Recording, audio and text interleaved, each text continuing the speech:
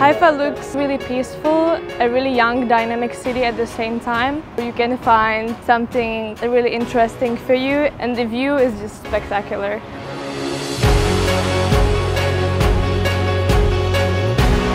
When I went to the Baha'i Gardens, I immediately felt uh, relaxed and at peace and um, I just had to take a moment and soak it all in, the beauty and the view of Haifa. Religious feeling about Baha'i Gardens, for me, it was very new. The energy coming from the whole place, I cannot describe it, it was magical.